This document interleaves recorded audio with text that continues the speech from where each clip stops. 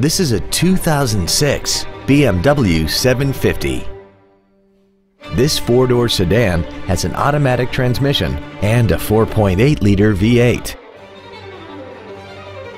Its top features include air conditioning with automatic climate control, a navigation system, cruise control, a premium sound system, interior wood trim accents, an aluminum hood, 18-inch alloy wheels, adaptive brake lights, heated side view mirrors, and this vehicle has less than 35,000 miles. Contact us today to arrange your test drive.